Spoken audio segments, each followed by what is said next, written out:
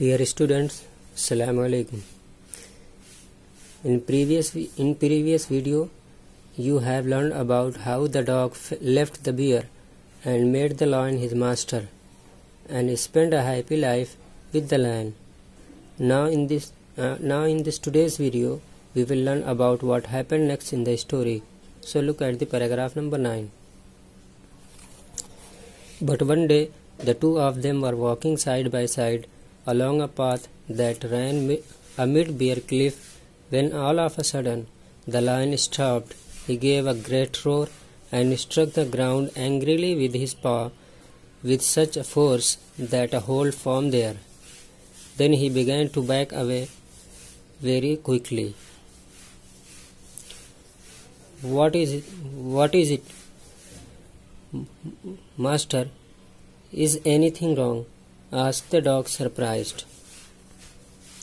So, after leaving the bear, the dog started living with the lion and he he spends a very happy life with the lion as no one dare touch or upset him because he was the servant of the king of the forest. So, after some time later, one day the lion and the dog were walking together in the middle of the high steep rope.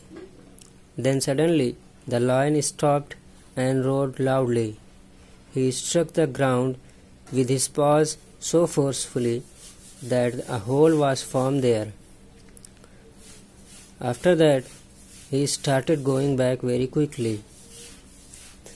So, this made the dog very surprised and he asked the lion, Is there anything wrong? What happened? Why are you stepping back? Now look into your book.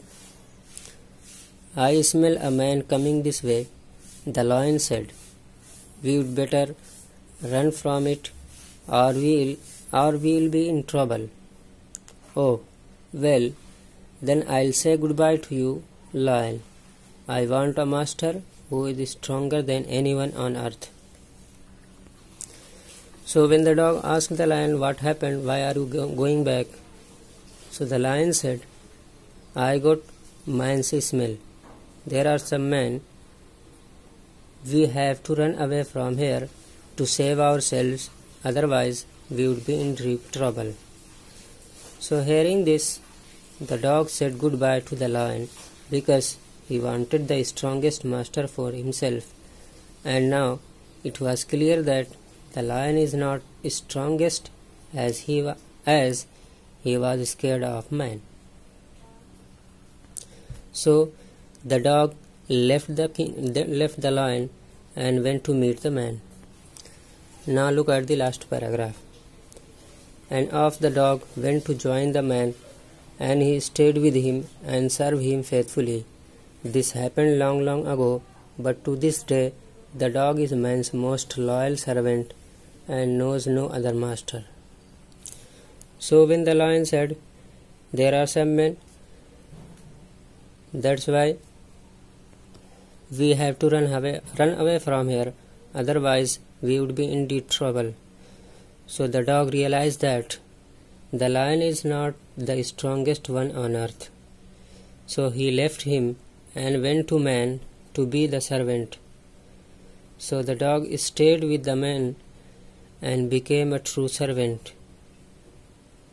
So this incident incident took place a way back way back long, but from that day till now, the dog is the most loyal and faithful servant of man. Here, this story comes to an end.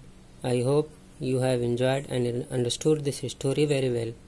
And if you have any question, you can ask me on my personal WhatsApp number. And thank you very much for watching this video.